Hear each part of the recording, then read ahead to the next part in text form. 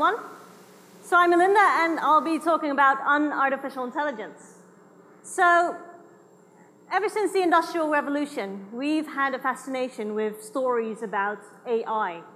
Just thinking of recent movies, we've got all these different variations of the same theme.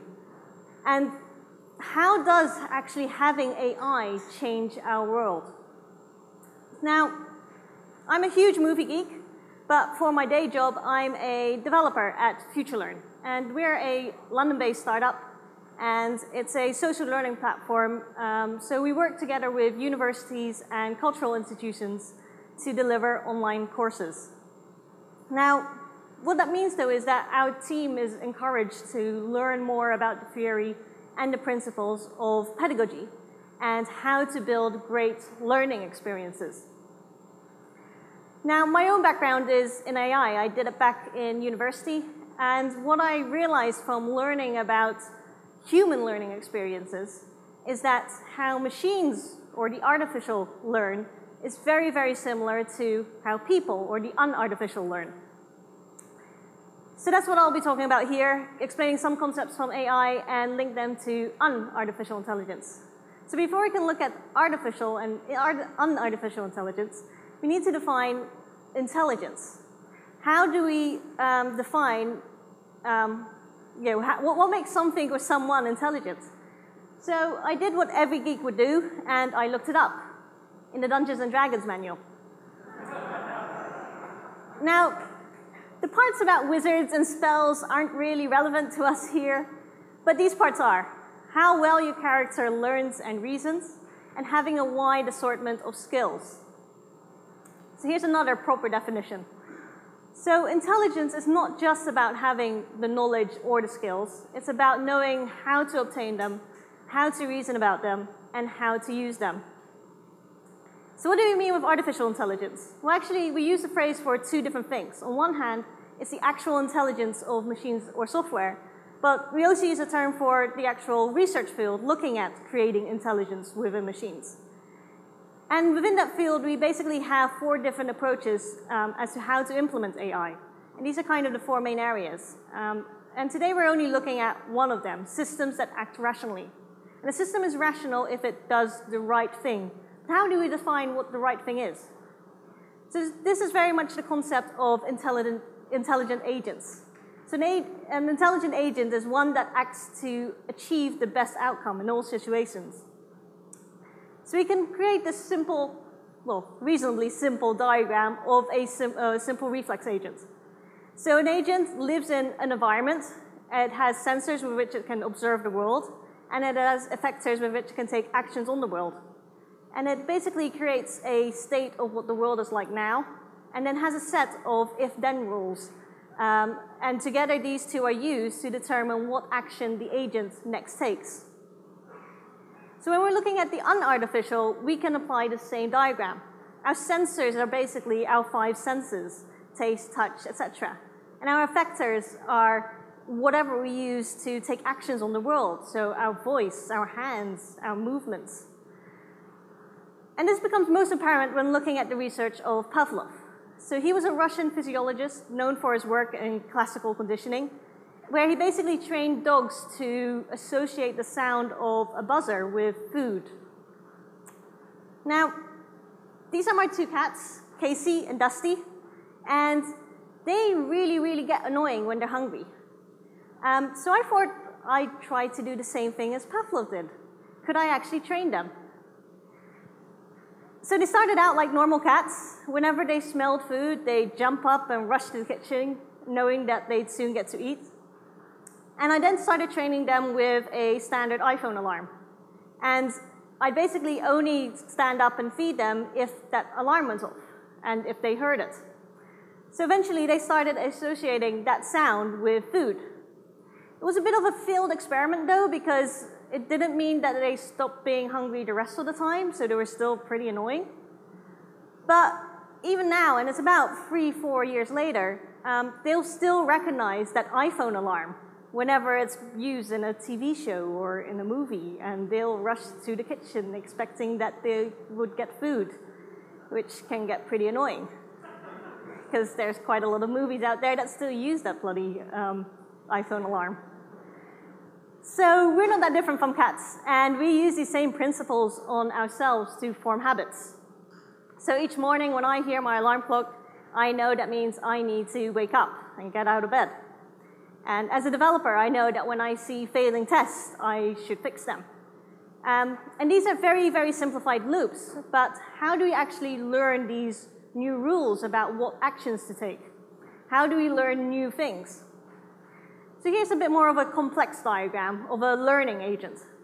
So just like before, we have sensors and effectors with which we can um, observe and take action on the environment. Um, and but now we have a couple more um, elements. Um, the main element here is the performance element. And this is basically the entire agent that you just saw before. It has, again, that bit that can uh, create a state of the world. It has the if-then rules. But now we have a couple more components that can influence and change what this performance element does. So the main thing we're interested in is the learning element. So what this does is that based on observations that it gets from the critic about past actions and the, um, and the environment, it um, gets feedback and then can make changes to the performance elements. So this, decide, uh, this changes the way we make decisions. So how does it learn though what actions to, what changes to make? And this is where learning algorithms come in. So there are a couple of known learning algorithms, and I'll only highlight a couple of the more familiar ones here. Um, so there's supervised learning, and in this case, the feedback is basically all upfront. So you get a bunch of labeled training data, and you're basically trying to infer the rules for which input belongs to which label. Then there's unsupervised learning, and in this case, the feedback is just a bunch of data.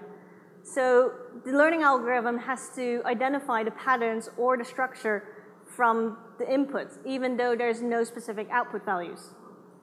And then there's reinforcement learning. And rather than having correctly labeled data, in this case, the feedback with reinforcement learning is actual proper feedback. So the agent makes a decision and then gets the feedback whether it's right or wrong. So it's much more general, but at the same time, the agent has to have a much better understanding of how the environment works. And it needs something or someone to tell it whether it's right or wrong. And in the same way that machines learn through different types of algorithms, humans basically learn from different types of activities. So these are, this is an overview of the 16 different types of learning activities. And I'll highlight just a couple of them here because we don't have time to go over all 16 of them. But you kind of, um, but all of these different ones um, appear when um, you're trying to learn something. So the first that I want to tell about, talk about is delivered. And in this case, learners are presented with information. So this is again very similar to supervised learning. You're presented with the content which contains all the information that you need. And as developers, we do this when trying to learn something new. We basically read books, we watch videos, we attend conferences. It's all about consuming content. The next one I wanted to talk about is conversational and collaborative. So here it's about learning through conversing with others and by constructing a shared understanding. So this is very much like unsupervised learning, where the learning comes from the structure of what is being learned. And again, as developers, we do this when pairing with others.